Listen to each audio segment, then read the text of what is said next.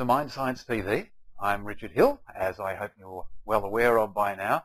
And this week, I'm actually interviewing someone in Australia, which is uh, fantastic. My good friend, Philip Armstrong. So first of all, just say, hello, Philip. Good to have you. Good afternoon. It's great to be here in your studio. That's terrific.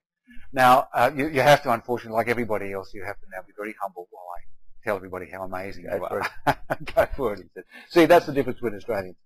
So, uh, Philip Armstrong is probably uh, most known because uh, he is the CEO of ACA, the Australian Counsellors Association, which is uh, the peak body for counsellors in psychotherapy in Australia, of whom I am a member and very proud to be so. Uh, but Philip is much more than just a CEO. Although he's in the business area now, he's also been involved uh, in psychotherapy and counselling for many years. We'll talk about that. He's also doing the stuff which I'm really keen about, the Mind Science Institute is really keen about, which is the international marketplace. And these are the things that we're going to let him talk about because he's the man who's right in the middle of it. But although it's uh, there's fascinating stuff with the politics and the business, I want to kind of press uh, Philip to start off with to reflect about his experiences as uh, as in the, in the military service, which he was in, and what he did after that. So, Philip, that's where I would like it if you could start. Some reflections on this history you have as a as a practitioner that, that sure, certainly mm. led you to become a, uh, an administrator. Yeah, I. Well, yeah, it, it, certainly was my, my military background. I um, I was probably um, part of a, an older generation that left school when they were 15, and uh, and uh, I left home and, and, and school and uh, and, and worked um, rather successfully actually um, in the optical trade. But uh, my uh, my family's background and, and our family history is within the military, and I, I felt a, a, calling to, to, join. So I young, joined the army at a very young age, and uh, ended up doing uh, 15 years in the army. But um, whilst I was in the army, a lot of the um, the work that we did, I was in the um, I was in the uh, the infantry corps, so being what I call an arms corps, and up the sort of up the, the pointy end, and also spent quite a few years in a, in a specialist unit, um, working spe- within a specialised area within the service and one of the, the things that was was necessary to be a, a leader within within the military was understanding human beings. and um, I learned very quickly. Um, my days in the army was very very different to the, to the young modern soldier. In uh, you know, uh, bastardisation was part of the system. I mean, it's now illegal, but it was part of the system then. Um, most of my instructors um, were, were Vietnam veterans. I mean, Vietnam was still very raw, very new. Um, and um, a lot of the uh, the people we were working under, as I was they called it was a I was a, private in in the infantry, and so um, a lot of those people um, they had um, anger issues. Um, there was a lot of PTSD in the in the service in those days, and they took it out on, on, on the young soldiers, and we had all the all the ways of being worked in the system. As again, with you know all these systems, uh, they don't encourage it in the system anymore but you had to very quickly learn to read people to survive um, and to minimise the um, minimise the amount of bastardisation and, uh, and this sort of thing within the system. Um, and so that was my, my first experience of learning the necessities of actually understanding and reading people um, for self-preservation. Mm. Um, not, I mean, uh, to make it sound terrible. I mean, I thoroughly enjoyed it. I loved it actually. It was a, it was a very manly thing to do was very macho and and those sorts of things. So you know, and, and I, I took that very well. So I learned to, but I learned to, to read people very very quickly, and um, and and I did uh, some time in Southeast Asia, and and and that was that was really interesting because it was the the culture shock of moving into a new society with a new culture, uh, and we had to work with them. Uh, um, simply, our survival was was you know was dependent on them. Um, we were in their country, in their world, in their culture, and then it was the challenge of learning to read people who didn't operate the same as we did. Right. that was very, very challenging um, because you, you need to, and, and being Australian didn't mean anything. I mean, it didn't carry much weight. Um, as I said, it was, was about working with them in, in, in, their culture and their system. And, and further on in my, my career, as, as, I as I got promoted and went through the ranks, it became more and more important to be able to work with people at different levels um, particularly uh, when I was uh, as a senior NCO working with um, senior officers. Um, you know, I was working with battalion commanders um, and, um, and and people up there in brigadiers, um, So again, it was about learning to work with people because of the command structure. It's not like television, you know, and you don't just stand there and, and you know, people scream in your face. Australian soldiers don't take very readily to people screaming in your face like you see on the television. Um, you know, they are quite likely to, to turn around and, and, tell you what to do with yourself. But when you're working with officers, there is a command structure, and you, you do have to generally jump and, and do what they tell you, regardless of what you think. You learn very quickly how to use that situation and how to sort of manipulate the command structure so you can actually have your say um, without people belligerently standing there saying, I'm in charge, you must do this.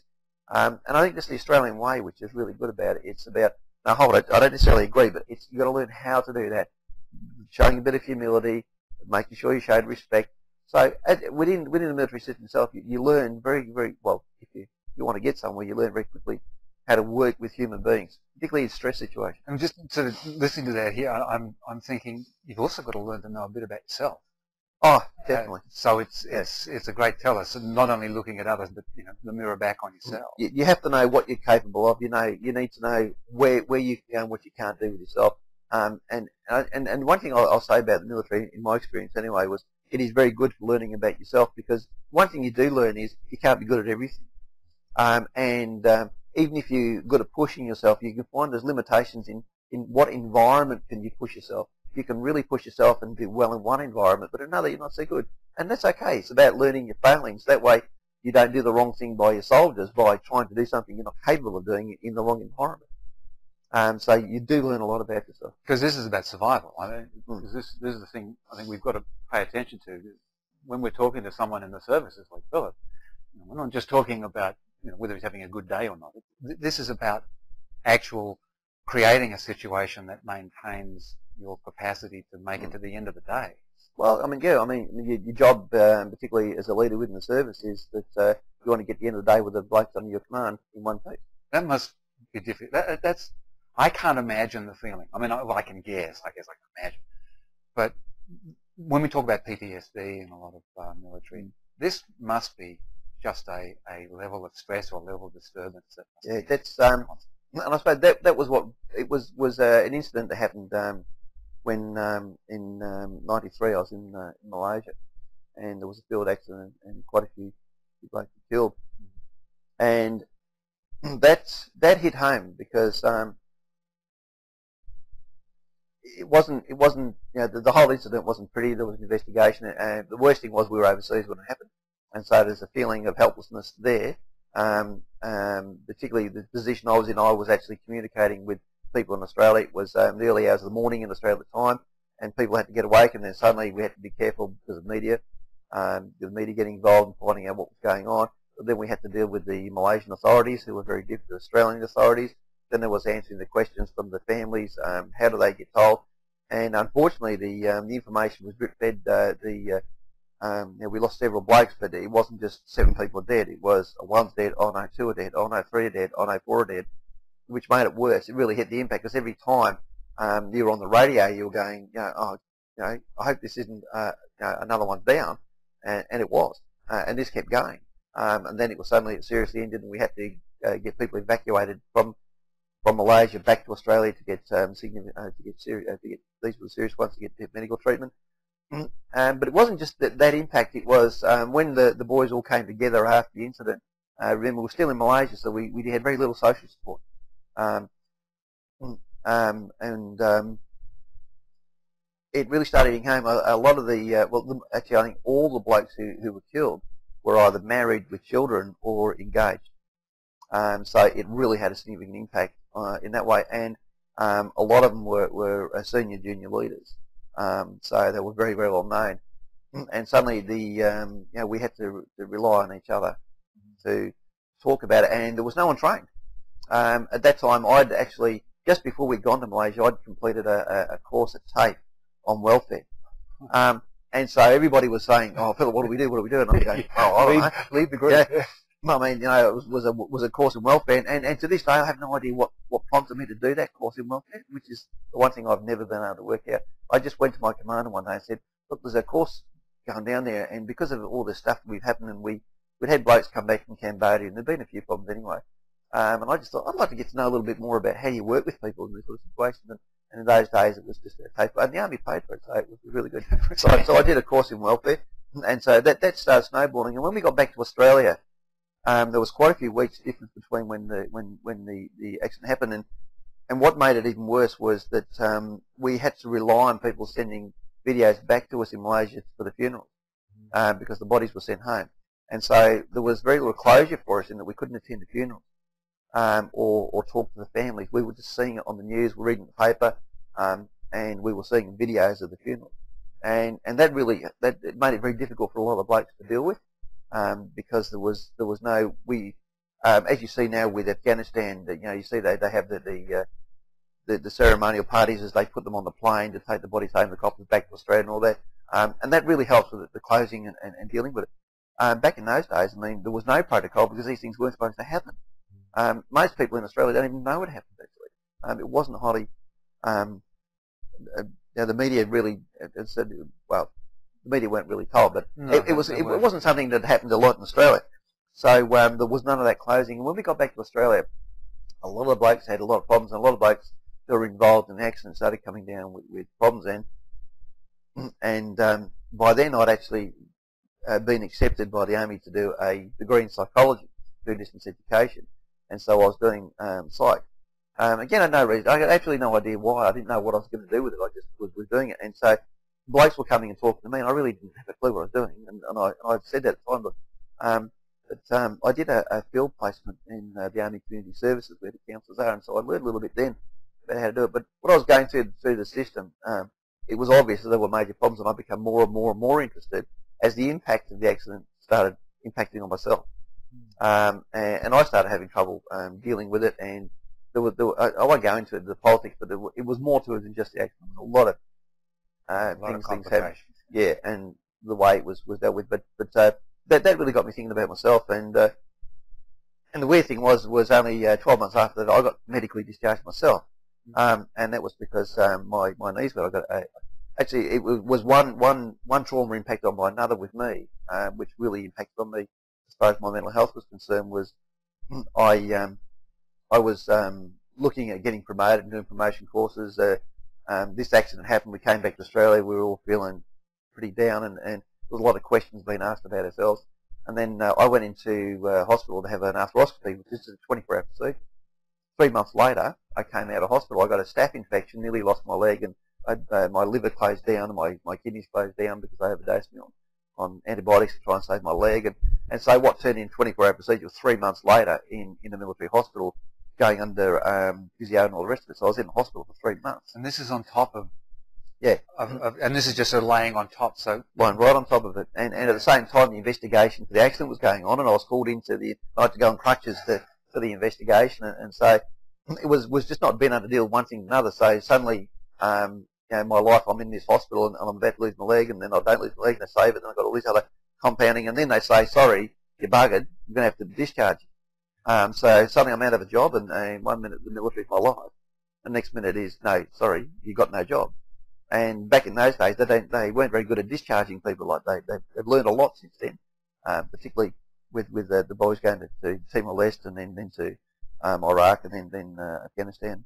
Um, so, um, but in those days it was just you know look you've been discharged, we're going to fly you to wherever See you you want to go and, and, and buy. And I was married with with a child, and uh, you know my career was gone, my future was gone, my legs were gone. I was told I'd probably never work. I was told I'd be lucky uh, to walk properly again because uh, the the uh, the infection and all. So that really impacted on me. But I had this degree that I was doing, yeah, um, and so when I got discharged, they um, they allowed me to continue with my training, but they wouldn't. Uh, the compensation package wouldn't let me do the degree in, in psych, which I was um, in my first year of. Um, but they allowed me to do a uh, was go to a college and, and do a counselling course. So I actually went off and I and I did the counselling course. And when I was doing the counselling course, part of my field placement, it was to me became um, obvious that um, veterans is what I, that was where my heart lay, and I was still I still hadn't detached. mm, I really hadn't got out. I was yeah. I was just in civilians, They'd let you but go, but my mind was still there, yeah. and I was starting to drink. Um, I was having marital problems. So that drinking and that thing that was that was sort of uh, dysfunctional self-medication. You're dealing with it. I, yeah, I didn't know how to. I, I, I couldn't talk to. Who could you talk to? No one understood. Um, or cared to by the Well, sounds of well, things at that, uh, at And- that time. and uh, even working within the RSL, which itself was very dysfunctional because you had the, the World War II veterans wouldn't talk to the Vietnam veterans, and the Vietnam veterans didn't talk to the Korean veterans, and the Korean veterans were the lost, you know, the lost children because no one remembered the Korean War. Even that, so you didn't, you didn't, you, the RSL was, was, was very little. A little help to us at the time. Um, and and that again prompted me when with this training and counselling, even though I was had my own issues, which I hadn't identified at the time, um, was I started doing a lot of work with veterans.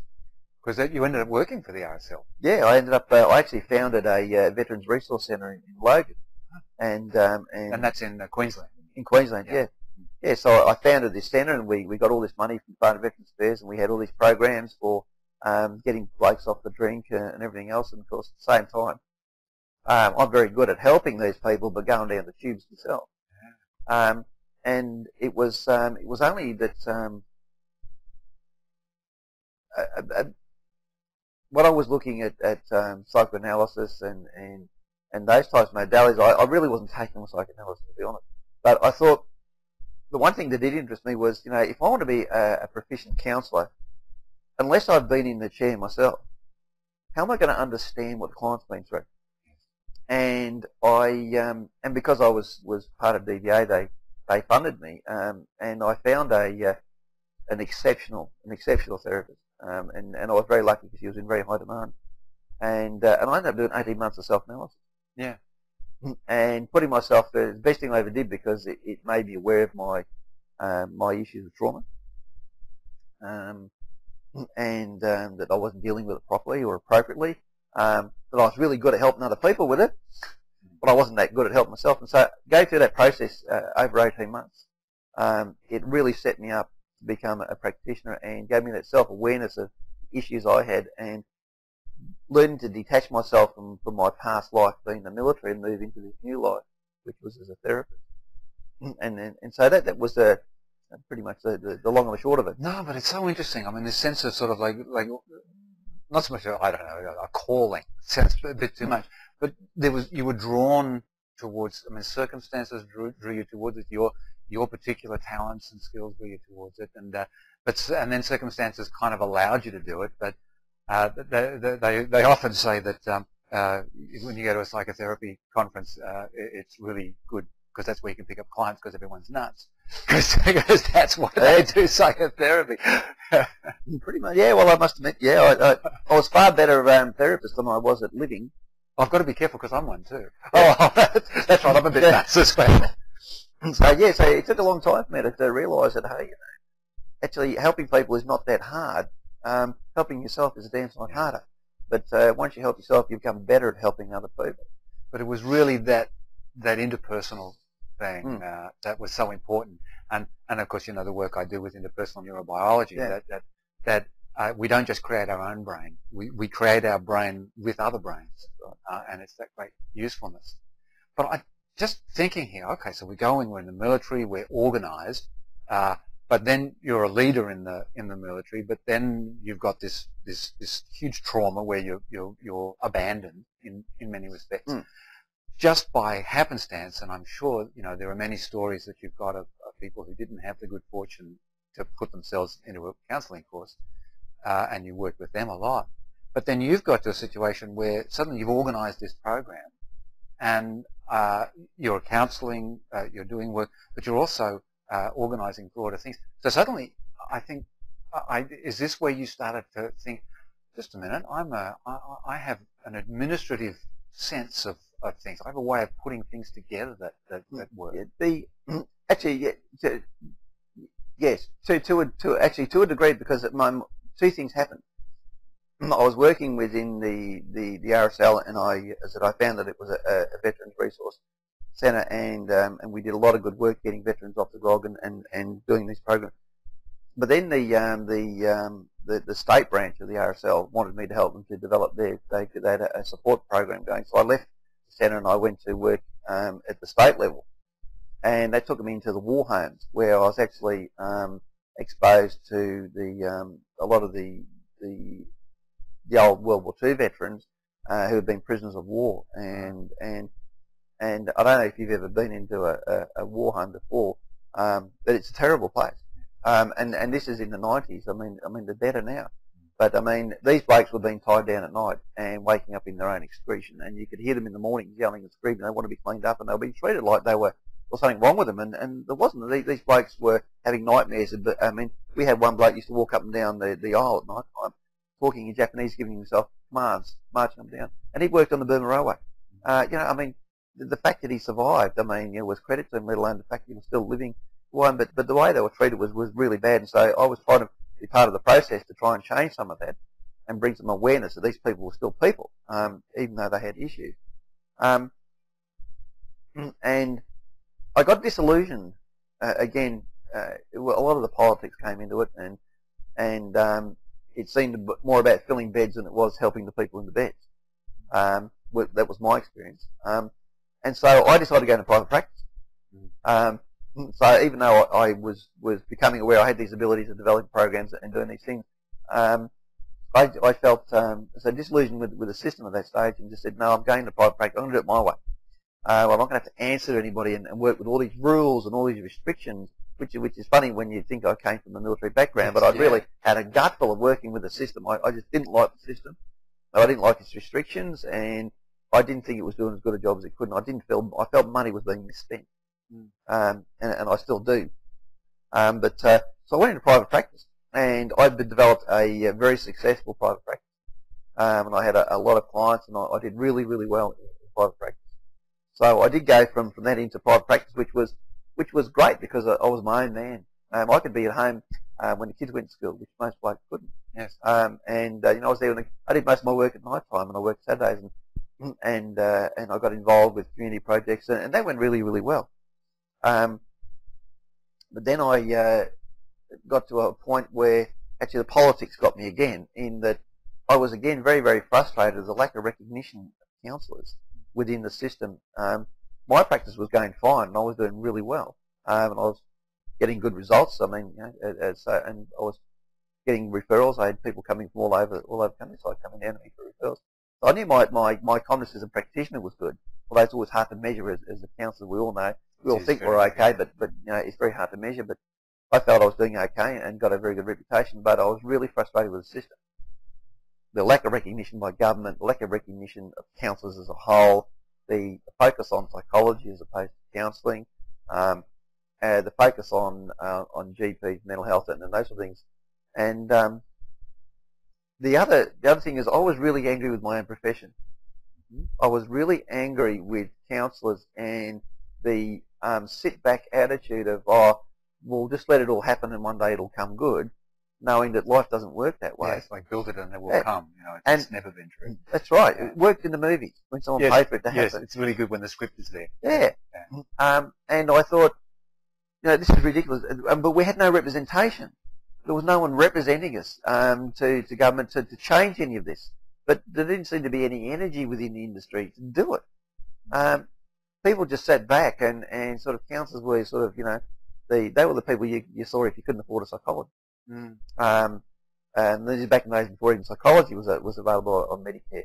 Um, but as a practitioner, I was doing well, and so what I was seeing didn't really fit with my experience as a practitioner.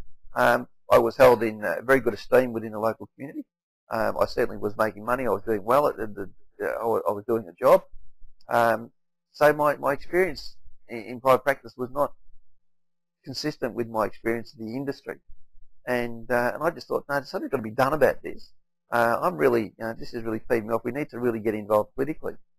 And at that stage, they, um, there was um, two organisations that were, were um, that were starting up. Um, and, I, and, I, won't get political here, but uh, one, one of the organisations I got involved with very, very early on and I became very disillusioned very quickly um, about the way it was. I, it wasn't evolving the way I'd like to see it evolve. So, so that's just my, my. Um, but then there was a job advertised within this Australian Counselling Association. Oh, I never heard of it. I thought, well, well, this is this is bizarre. This is an Australian Counselling Association. I've never heard of it. I don't know anybody who, who has heard of it. And it was a job going as the uh, as a, uh, it was the, the, membership liaison officer. And so um, I applied for it. Um, and uh, during that time, I'd gone to uni and, and paid. I actually uh, paid up front and put myself through uni. You I- paid for your university? Well I, done. I did. Uh, I only paid for it up front because I could claim it back in tax. Because you could get it, yeah. Yeah, as opposed to getting a HECS debt, Yeah. I, because I was practicing, I could pay for it up front, and I got it was twenty five percent discount paying yeah, no, it's much better. I- then oh, no. then I claimed it back in tax. So actually, it was you know was, was really good. And because I got RPL, my my my diploma in counselling I had, and then plus the subjects I'd done in my degree in psych, all got RPL. So it was really good. So I, I did my my degree, um, which was very fortunate because um, the uh, applying for the job you needed a degree in, Right. in counselling. So uh, I uh, I went for an interview uh, for the job, and uh, I uh, eventually I, I got the job as the, the liaison officer, and, and since then worked my way through the, the association up to where I'm now. So when getting was- involved. Yeah, so when was that that you that you That was um, uh, 2000.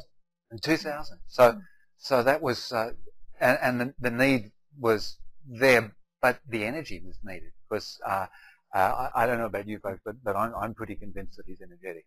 I know him quite well. He's very energetic. But this this thing of the um, uh, it must be it must have been your energy and and your your your drive to do something that that really pushed you forward. Yeah, I get. I mean, you know, passion is something a word we all like to use, and and yeah. I, I've got a lot of passion. There's no two ways about that. Um, sometimes it turns into aggression. Um, I can be very aggressive. Um, yeah, but that's a personality thing, isn't it? Which, which, if it's consistent, um, I- people can yeah. deal with it. I have to be mean, careful how I use it. Yeah, I, I- I have to be careful how I, how I do use it because I can get a bit vocal at times. I'm on, I, I don't threaten people or whatever, but uh, I, I can be a bit frightening when I get a bit passionate and vocal.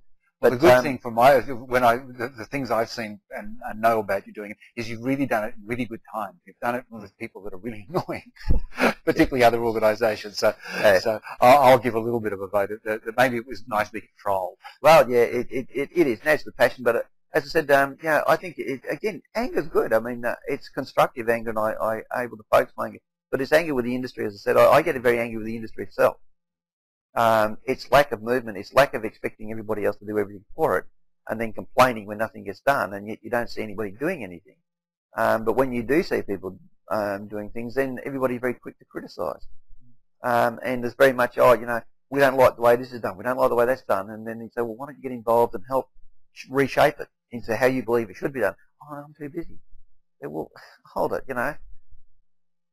Why don't you support the people out they're doing it, even though it may not be in the way or the direction that you wish it, it to be, but at least it's constructive and it's moving forward, and support them to do that, as opposed to criticise them and say you do it differently, um, if and the but. Um, which, which know, I mean, what do we do with clients who sit there and if and the but? We, we sort of, you know, we sort of challenge them a little bit on that, and yet counsellors are very quick to do it themselves. Um, in, in my experience, particularly back in those days. I mean, not so much now. But um, and and so was being able to harness that anger. And so now, though, the- it's, it's got a lot more flow. Oh, look, yeah, there's, the- we're on a roll a bit. look, the um, you know, since I've been involved with ACA, I mean, just just within itself, you know, we we've got um, a state association in each state, and the people who've been involved in um, founding and and uh, getting those associations rolling, getting the membership, um, getting them to get out there and, and offer benefits and services to the members, uh, and to help to support ACA through profile and, and helping us with the state. I mean, that's a lot. I mean, there's, there's there's a lot of people out there within ACA that have that have really got off their, their rear ends for, for no for no um, personal gain or No. financial gain, um, and and have helped us to develop associations and, and, and their policies and all that. So there's a lot of people do a lot of work for nothing behind the scenes at ACA. I know New South Wales have really, we've just sort of finally got things sorted Yeah. out. And there's, uh, you know, we've got a great team. Yeah, Uh, oh, and they really enjoy doing the work. But I just, I, just want to, uh, I mean, we, we, there's so much to talk about, so we'll, I'll just sort of direct things a little bit because, um, terrific, you know, so Australia, now you're up, 2012, there's a lot of activity, the, the, there's a lot of activity going in local groups, so you don't necessarily the state groups that do Mm. mm. work. So, um, uh, so Philip, in uh, his very simple nature, says, well, I don't know, I think I might spread my boundaries a tad. Mm. And uh, uh, I was very excited about all this. That's one of the things I really want to hear a bit more about. And I know there's a, there's a lot more going, so you can only just give us a, a rough background. Mm. But you've actually now gone outside of Australia and you're talking to organisations around the world, and there's something very interesting going on in uh, particularly the Commonwealth group of nations. But anyway, I think you know more than I. Mm. So perhaps if tell us a bit about that. yeah. Actually, it all stems back to 2006 when um, ACA hosted the first international counselling conference in Australia, and it was the the IAC, the International Association of Counsellors. Um, we held um, the conference um, on their behalf, and there was the, um, the Australian Guidance and Counselling Association partnered with us, and so it was a great international conference. Mm. And um, at, at the time, um, I just, you know, we met so many people internationally, and, and I just realised that know, um, we needed to start focusing outside Australia, not just within Australia, because there's just so much great stuff going on and so much networking and people. And one of the, I, I may not be popular this week, but I'm, I'm a great believer Australia is part of Asia. We're not part of Europe or America. Hmm. Um, I agree with you. and uh, and I think that um, i- is one of the failings. A lot of things that we do in Australia is we don't recognise we're part of Asia, and Asia are our neighbours.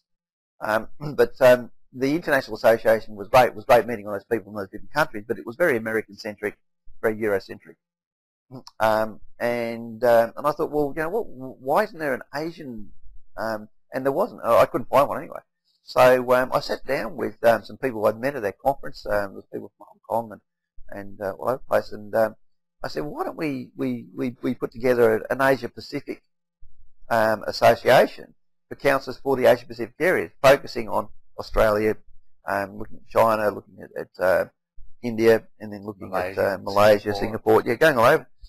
So uh, so we got together, and it was um, uh, Professor Catherine Sun from, Yes. from Hong Kong. Well, Um, yes. Yeah, and uh, and so Catherine and I sat down and and uh, and uh, with the support of uh, it was the Xi'an University that she works with, um, they they they gave us a lot of support with resources, and we founded the Asia Pacific uh, Confederation of Counsellors, and um, the primary focus of that is to is to is to to develop a, a venue or a platform from which counsellors from the region can get together and meet and discuss research, discuss um, what's happening in the area, but also give people the ability to be able to to demonstrate um, the whatever. That's. And, and so we, we, we have uh, so what we do is now we have biannual conferences, and uh, so we, we, we start off with having our first conference. Actually, our first two conferences were both actually in Hong Kong, um, and um, so uh, and the next one is uh, next year in uh, in August, and that's in uh, Sarawak in Borneo.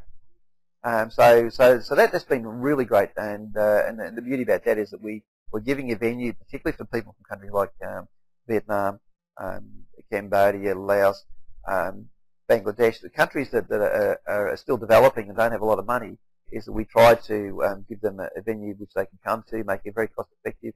Um, a lot of time what we do is we get sponsorships uh, for them so they get their accommodation and, and meals and all that for free.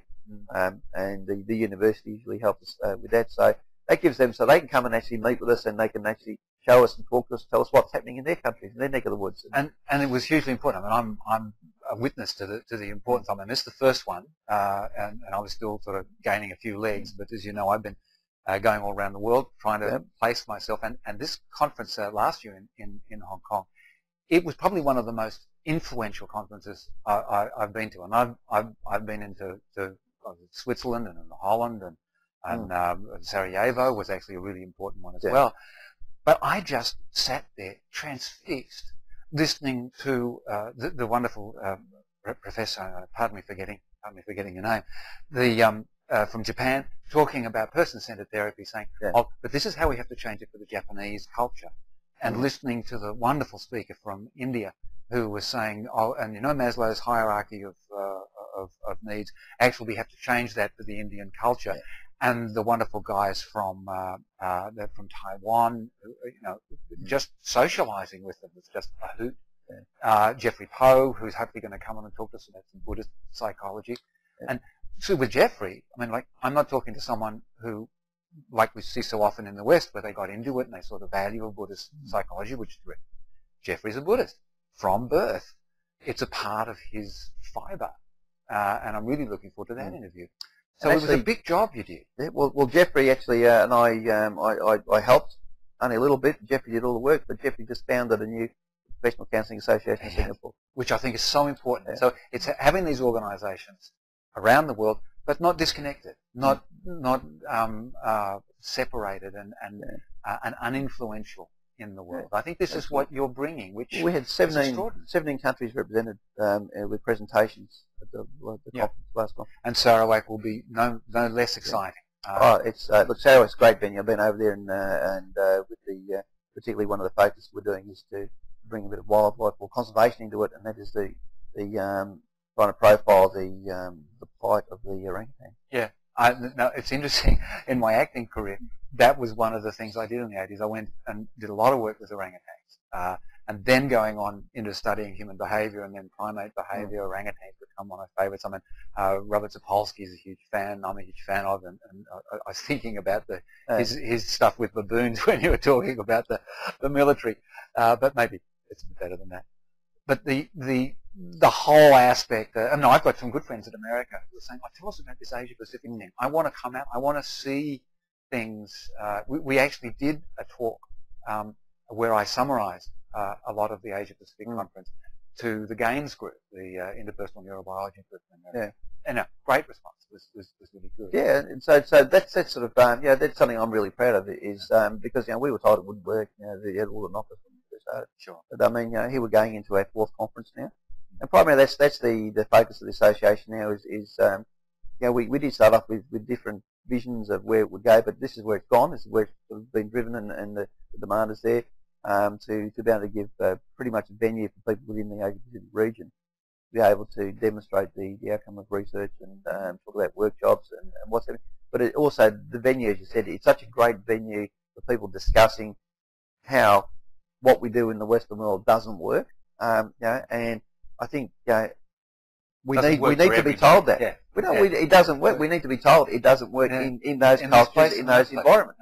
Because particularly in a country like Australia, where I mean, you know, I've had clients who were Muslims who were Sikhs. You know, I've had Asian clients. I've had all over the world, and and you know, um, without being exposed to this sort of thing, I actually reflect actually on some of the clients I've had and how disrespectful I have been to clients, particularly in the early days, by not actually acknowledging and, and understanding and realizing that these cultures, I mean, what, I- what I was doing, I was doing what I was taught to do, but it, it was totally inappropriate.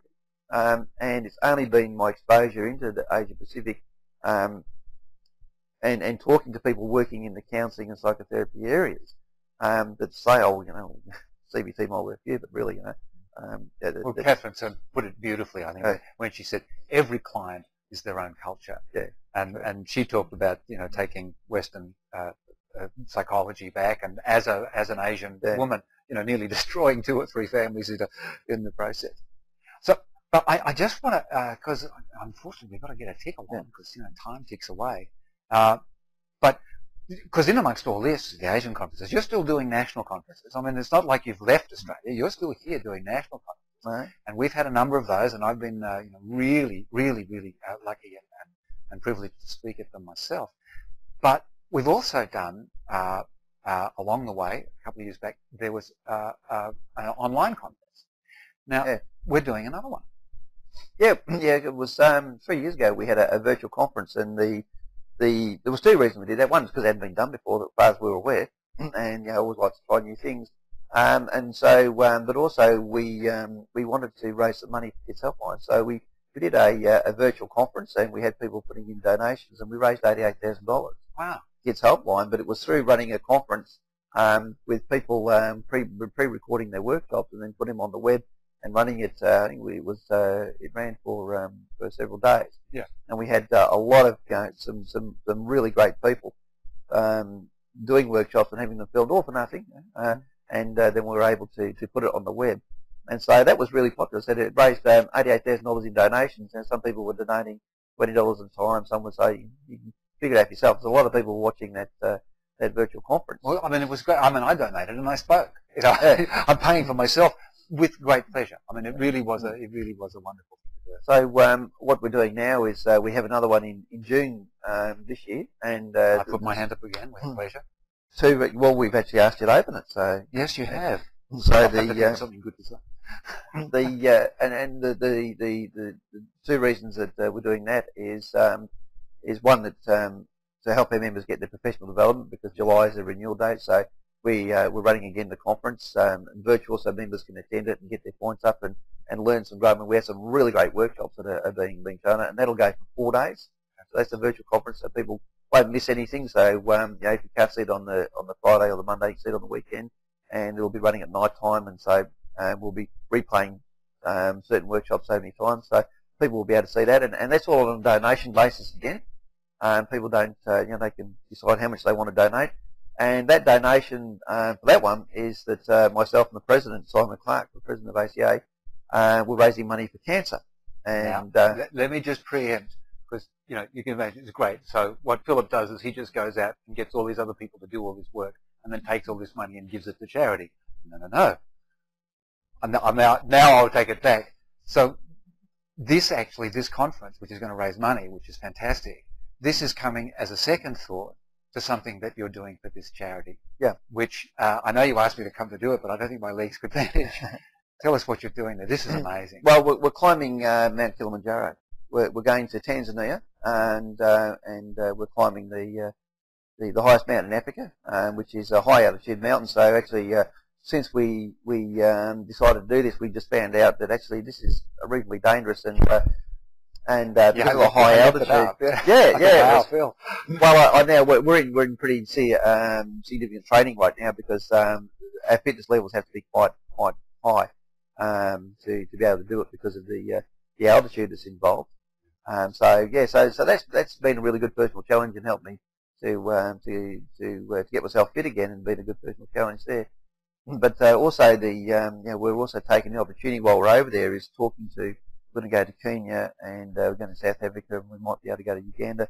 Talking to um, the counselling uh, counsellors and counselling associations in those individual countries to, find out what is happening in Africa. Not not just you know we we've looked at Asia we're now looking at Africa and that's part of the um, uh, what we're doing is we're looking at a I'm the, the chair of the um, the um, the Counselling and Psychotherapy Association of Commonwealth Nations, um, which is a, a new organisation which has been founded. We, we currently we have representatives from Australia, New Zealand, Singapore, Malaysia, Canada, uh, UK, and New Zealand, and um, we're, we're now looking for uh, obviously we need representation from the African from the African I mean, Commonwealth countries because there's a lot going on in South Africa, and I'm, yeah. I'm hoping to actually there's definitely there's, there's two or three people from South Africa who who I'm talking to to get onto Mind Science TV, which will be which will be fantastic. Yeah. Uh, and uh, you know, hopefully there are you know a bunch of you out there. This is a this is a great uh, introduction to, to all the, the man who's so we can come and visit. Yeah, so. yeah. And and if anybody's listening and they want to they want to make some kind of connection to Philip, uh, then please do. You can always contact me and I'll pass it on. Mm. But uh, you know, the ACA dot net dot au um, but yeah, yeah, it's oh, www.aca.asn.au. All right, fantastic. But we'll have that. I'll put that on the on the website, the, the, the links. Uh, so what we've, uh, I mean, what an, I mean, you're just such an interesting fellow. You, you've been in the military. You've gone through um, significant personal trauma. You've actually been the hand holder of a lot of other people. This has led you on to, you know, expand and develop. You, you know, the, the military perhaps not out of intention, but just out of misguidance, ends up leaving you in a bit of a hole. Uh, you put yourself out through study and through work, you apply, suddenly find you can do things, you're building organizations, now you're doing international stuff, you're climbing up goddamn mountains.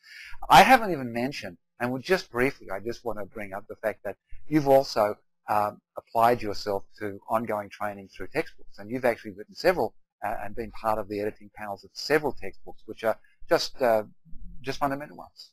Yeah, yeah, I was, I was really, I was really fortunate um, that um, Dr. Nadine Pelling, who's a, um, a clinical psychologist in, in South Australia, um, uh, approached me with um, Dr. Randolph Bowers, who was a, a, senior lecturer at the University of New England, um, and we, we collaborated to put together a, book on on counselling, and uh, we felt that there needed to be an Australian text on counselling, but uh, one that was a little bit more broad and diverse. There are, there are a, a few, but they're written by individuals and it's about their modalities and how they, they perceive it. Um, and so we wanted to bring together a, a, a combination of a heap of Australian um, academics, um, lecturers, people who'd been involved in counselling to, to write a book on counselling in, in Australia. And so it's called The Practice of Counselling and it's now used by a lot of universities as a textbook. But it has quite a lot of um, uh, Australian, but actually we, we've also got some Canadian and, and uh, British um, therapists who were, were wrote, wrote some of the chapters. So it was um, was co-edited by myself and um, Nadine and Randolph. And then uh, what came from that was um, when we were looking at professional supervision, we were very again we were um, surprised, I suppose, um, the, the, the lack of texts in Australia written for Australians, and and it is my passion. You know, uh, Australian text for Australian people, um, and um, and they need to be multicultural because we are a multicultural nation, and uh, so it needs to be written in many different ways. And so it was written. Out, the same thing happened with supervision. I, I, I looked around and there was nothing, and again, Philip's filling a hole. Yeah. well, yeah, it was um. Dr. Uh, Dr. John Barletta, who was uh, then a, uh, a senior lecturer at the um, uh, Catholic University Yeah, in well. Brisbane. Yeah. Yep, and um, again uh, Nadine, Dr. Nadine Pelling, uh, came on board, and um, we got uh, that was published by the Australian Academic Press. The, the practice of counselling was by Cengage, and so we, we put that together. And again, we did the same process. We we, we went out there and we found a whole heap of um, supervisors um, and the different modalities. We had uh, supervision from nursing, from social work, from counselling, from psychology, mental health, um, and put all the different models together and got all different authors. And uh, we uh, we were very privileged that Dr. Carroll from the UK, Mm. um, he wrote the foreword, uh, and he's you know, one of the leading experts in, in supervision. Um, so he wrote the foreword for the for the text, and so um, yeah, so that text is out there. So yeah, I'm so very fortunate. And I think importantly, uh, this, these texts are finding some resonance in Malaysia and in, in the Asian, uh, this, this close Asia region. So there's, Australia's not a separate entity. It is a part of Asia. I think that, that, that tells us that. Well, yeah, well, I'm, I think the the uh, think it's- one of them um, is very heavily used at the University of Fiji. Um, so, so yes, I thank you anybody from Fiji buying the book. Um, and so uh, yeah, so so they've been very popular outside of Australia, and actually there's a lot of resonance in uh, in, in Canada too, In Canada, um, because excellent. the, the Canadians like looking for texts that aren't uh, aren't necessarily American, because obviously they get a lot of American texts. But, there, but there's also quite an affinity between Can- Yeah. Canadians and Oh, Australians. look, we- So we, there's a lot uh, of personality similarity. Well, ACA itself, you know, I, I have a very, very um, close relationship with um, the uh, the Canadian Association and and the the president um, of the uh, the Canadian Association, is a, wonderful person. Yeah. So, uh, so as part of that's what we do with ACA, we're, we're very much about reaching out, and we have a a um, uh, an affiliation with the Canadian Counselling, Canadian uh, Counselling and Psychotherapy Association.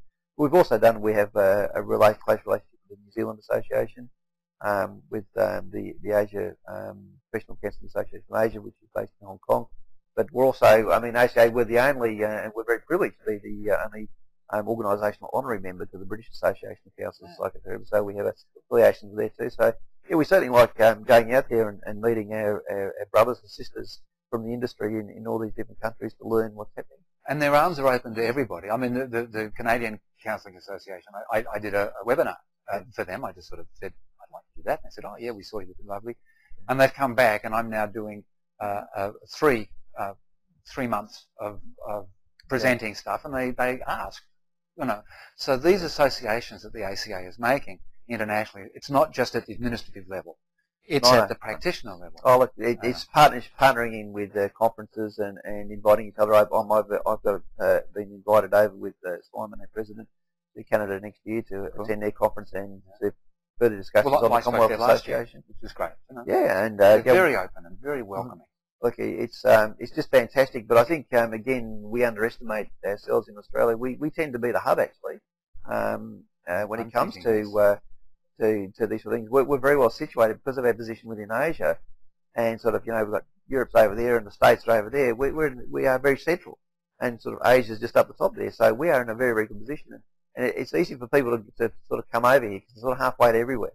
So it's a lot easier to get here than, than to you know fly fly across a lot of places. But also, um, uh, you know, we we have a very multicultural industry. Mm.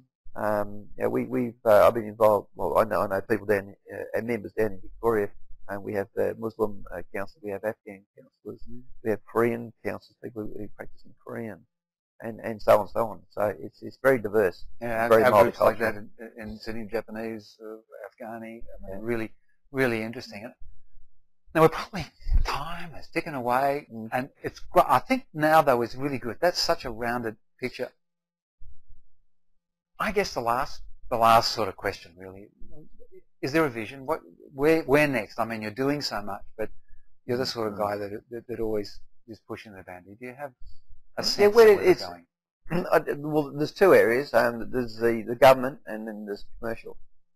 Um, with the government, it, it's it's it's very important, and, and we are making headway. Um, I, I believe we'll get there one day, um, and in the near future, not in 20 years down the track, in my lifetime.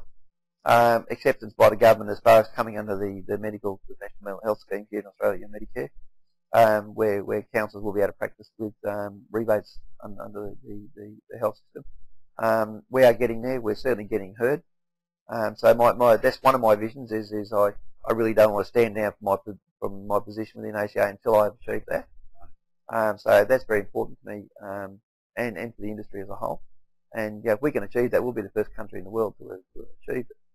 Um, but um, I mean, they said we couldn't get private health funds, and we did. We did that back in 2002. Was the first time we got it. Everyone said we couldn't be done. So you know, you've got to motivate me. Tell me I can't do it. That's right. um, but the, the, the second one is is one that again I'm I'm still feeling a bit of frustration within the industry and, and myself is the lack of um, the lack of impact we have on the commercial sector, particularly those in private practice, um, without relying on the health system. Um, you know, there's a lot of um, allied health people who, who work outside of the, the health system, and I think uh, we should be doing that as counsellors too. And that's developing programs being demanded by the communities, but also um, I think there's a lot of there's a lot of services out there that are delivered by non-mental health professionals that I really believe um, mental health professionals need to be delivering, and which is why um, there, there is not a lot of success. And, and you know, I look at obesity as one, uh, and that's that's a major problem in, in, in Australia and all over the world.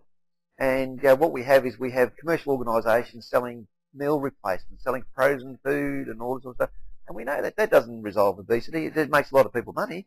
Um, and I've even gone to the supermarket and, and seen some of these and, and, actually look at the labels. And you actually read the labels and you read some of the, the, the home brand. And the home brand stuff's actually healthier yeah. than this stuff that they double in the price for. And yeah. but, but we know that obesity is a mental health problem. Um, it's, it's a, you know, emotional triggers. It, it's, is we need to resolve why people eat. I mean, obesity is easy. It's caused by overeating. We know the cause. That's easy. Meal replacements and selling overpriced canned food with a label on it is not going to resolve that. Um, it's, it's, a mental health issue, and so we need to get out there commercially and get involved in resolving these issues as counsellors working as mental health professionals instead of watching people making bucket loads of money knowing that no one's getting cured or going anywhere. Um, it's just they've got all this money to get celebrities to go on TV and say, hey, look at me, I've lost all this weight what we don't see is the celebrities five years down the track put it all back on again.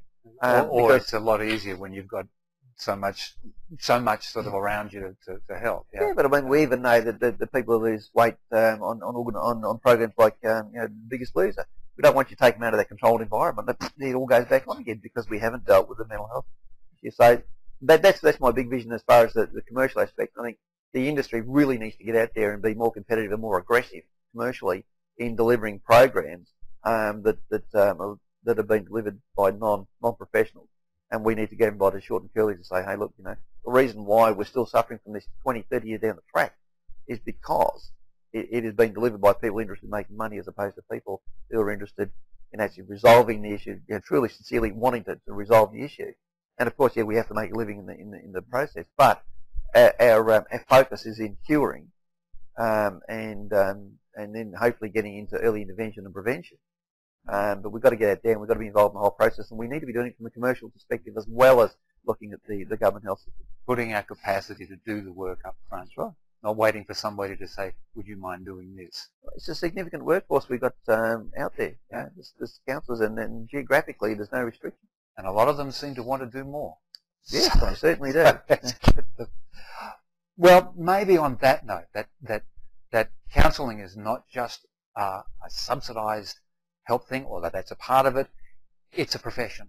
Certainly and it's a profession that can deal with so many issues uh, uh, because so many issues that are going on are to do with our health, of which what's going on in our head is actually a part of it. Yeah, I mean, obesity, we have suicide, um, you know, which you're heavily involved in, in yeah. um, all these issues, and, and um, you know, um, counsellors should be out there at the front line working on these issues, and uh, they all overlap. I mean, there's, there's even with uh, obesity, we know, no, we know overeating is the cause, but the mental yeah. reasons, the, the reasons why people do it is um, a lot of overlapping issues that come with that. And so we need to be out there helping resolve these issues, giving some real answers mm. as opposed to just making money. We, we've actually got an exciting future. And that's, that's something that I hope this talk has, uh, has brought up because that's what I'm feeling. I'm feeling uh, like from someone who's a practitioner but as an administrator that, that we're this isn't a talk we're saying, oh, well, yeah, it's pretty difficult. it's sort of like, no, it's great. There's this, there's that, there's the borders, there's outside, there's, there's all these things. Um, I don't know about you guys, but that was pretty inspiring. Uh, uh, as I say almost at the end of every Mind Science thing, I have to go away and think about this for a while. Maybe you should do the same. Anyway, thanks for joining us, and thank you for, for giving your time. It's so much appreciated. Thank you for inviting me to speak out and giving me the opportunity to have my say. You did indeed, and I loved it. Bye-bye, everyone.